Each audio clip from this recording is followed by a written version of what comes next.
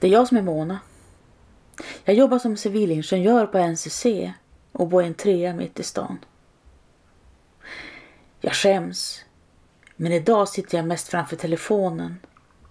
Den vecka sedan jag träffade Börje och han har fortfarande inte hört av sig. Ja, det är inget fel på telefonen, men kan jag ha gett honom fel nummer?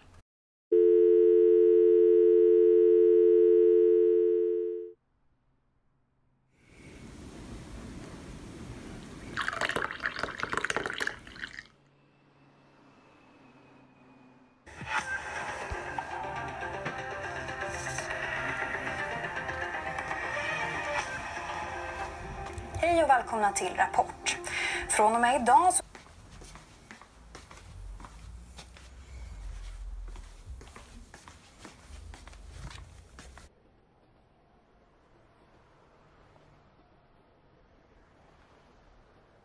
Va?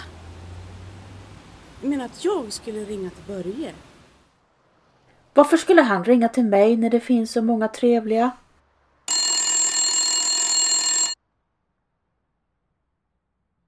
Mona Jonsson. Börje! Ja, jag kommer ihåg dig. Ja, det är bra med mig. Och du själv?